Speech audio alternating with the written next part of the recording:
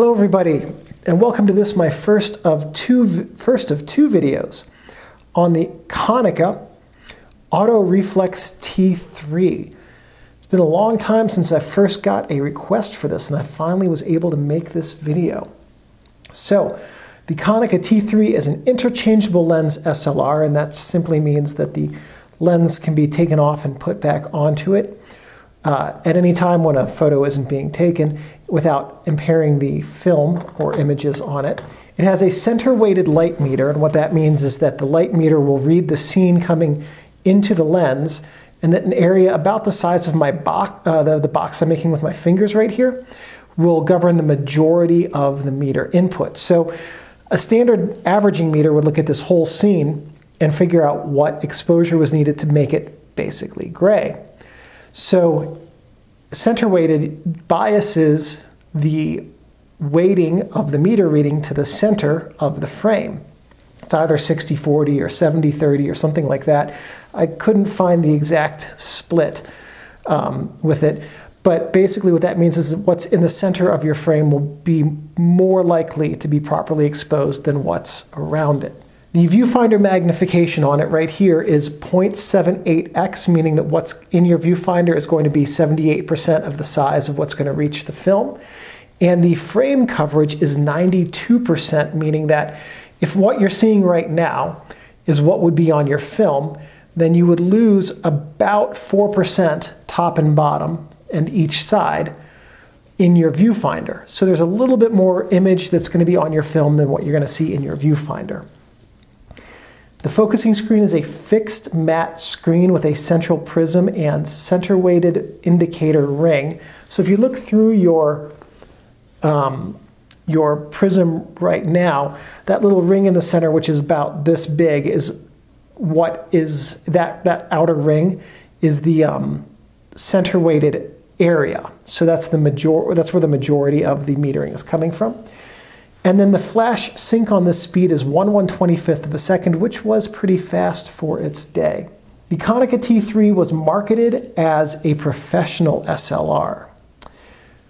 It is very well made and exceedingly durable, and many users of these cameras indicate that they've never had to have service for them, even with more than 30 years of fairly heavy use. These are robust cameras. They feel like it too. Um, they're incredibly heavy, but they are well made and uh, should continue lasting for as long as they're well cared for. Konica claimed, now I can't verify that this is correct. I cannot verify if the claim is correct. Uh, I, I do know that Konica claimed this, that this was the first professional level SLR with automatic exposure control.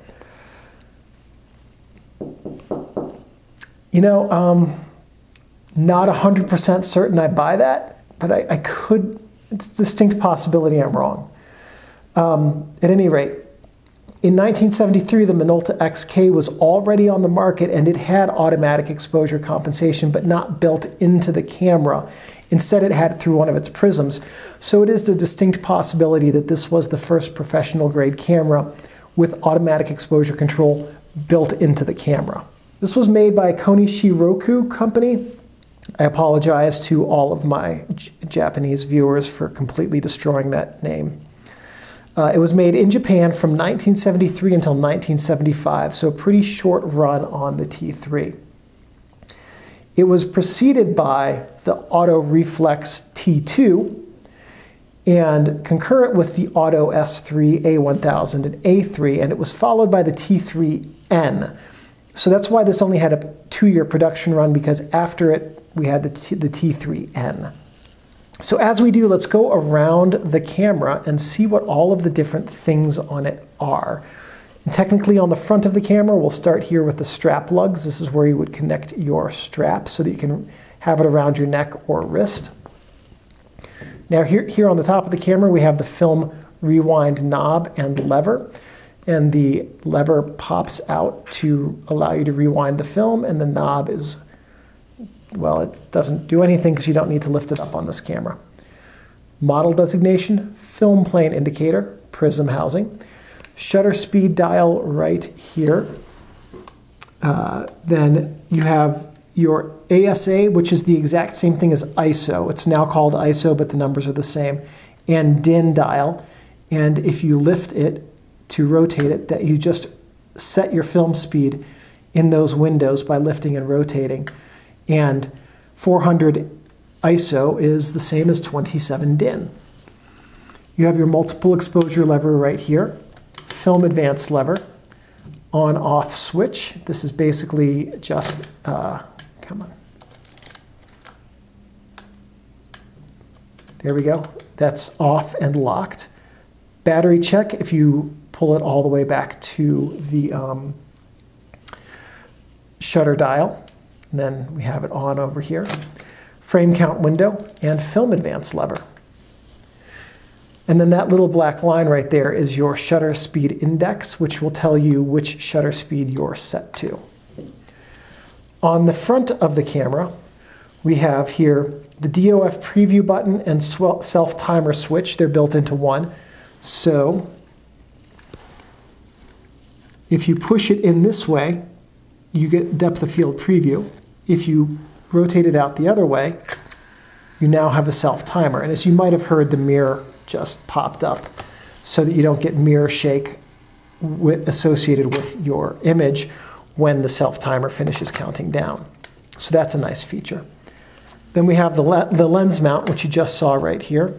Lens mounting index, we'll see how to use that in the second video, and the lens release button right there. On this side, we have the flash PC sockets, M and X. M is for bulbs. They're not really made anymore. They're pretty obsolete. You have to have a special flash for them. You're not likely ever to use that. X stands for xenon, which is also the modern type of flash. So any flash you could buy online or even Vivitars going back to this to the 80s will be an X flash. It's the standard type of strobe you've probably seen before. This is the film back release lever right here that you use to open up the film back. Fortunately, there's no film in this camera. If we go to the back of the camera, it's pretty simple.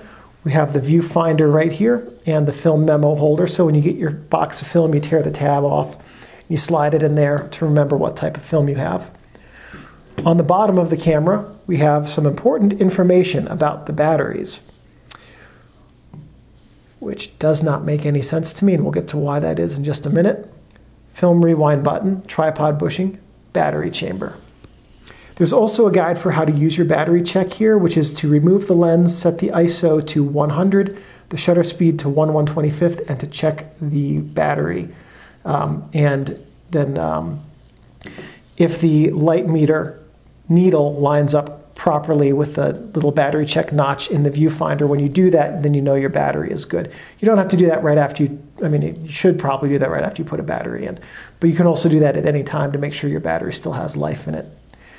If we go inside of the camera, we have is the film cassette chamber right there. Then we have the forks for the film rewind right here.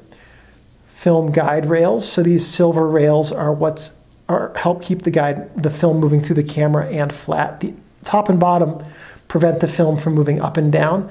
And then these inner ones sandwich the film against the pressure plate here to keep it flat film tension sprocket. As film sits inside of a cassette for however long, it develops a memory.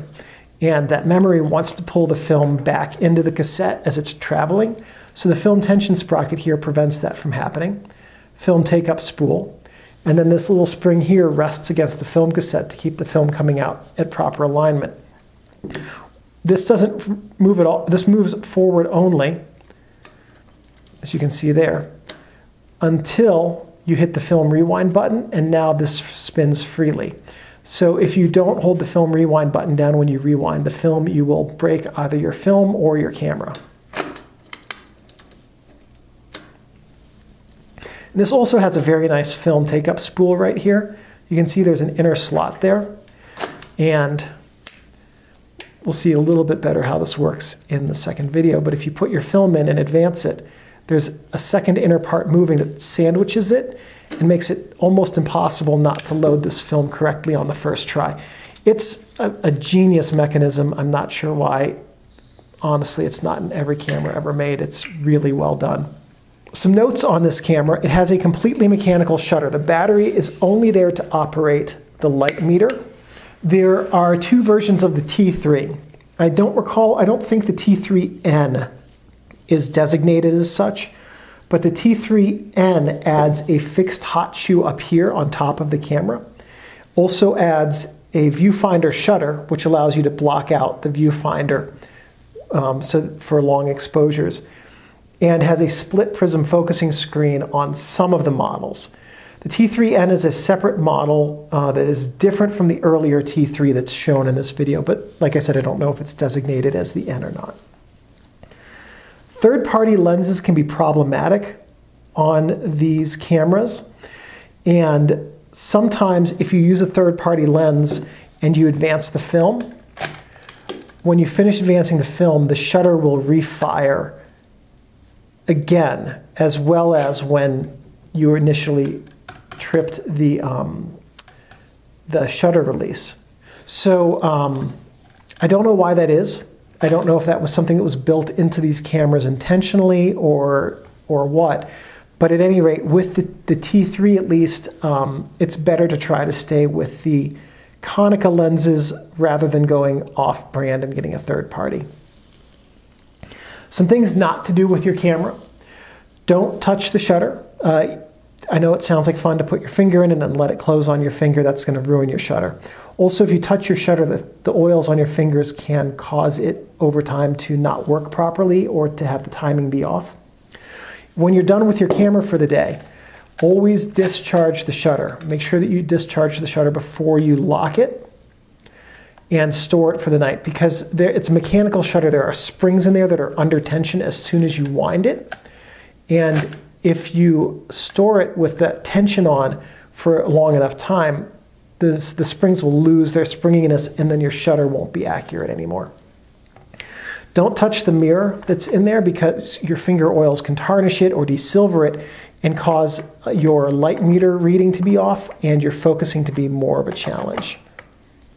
Don't leave your camera or lenses in your car because heat damage can cause the lubricating oils in the lens to have the aperture, uh, to, to reach the aperture, and then it won't work properly. It can also cause oils in the camera to get to places they shouldn't, and then they, when they get back to their normal viscosity, it can muck up the operation of your camera.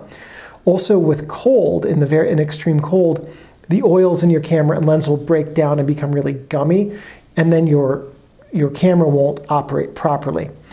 Also, leaving your camera in your car is a really great way, no matter how long you're out of your car, to come back to a broken window and no camera. Camera thieves aren't discerning, they just want to grab something and go. Don't store your camera or lenses in a plastic bag or box unless you have a desiccant pack, a fresh and charged desiccant pack with it, because fungus can grow on the lenses and in the leather of the camera as well as in the optical system of the, the prism. And uh, that's always a mess and hard to deal with. And don't let this camera get wet. Even though it's mechanical and, and not electronic, water getting into the system could cause components to rust. And just remember your Konica Auto Reflex T3 is a precision tool and should be handled with care and respect. And as long as you take care of your camera, your camera will take care of you. So this was the first video on the Konica T3 where we looked at what the different things are. And the second video, we'll talk about how to use all of them.